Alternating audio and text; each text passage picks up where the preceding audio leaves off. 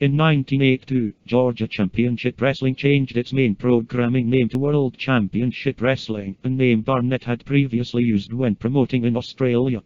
WTBS owner Ted Turner had requested the name change in hopes of giving wrestling programming on the Superstation a less regional scope. Also, by this point, GCW had been running shows in neutral territories like Ohio and Michigan. World Championship Wrestling continued to be taped at the TBS studios until March 1989, when the taping location was moved to the Center Stage Theater in Atlanta.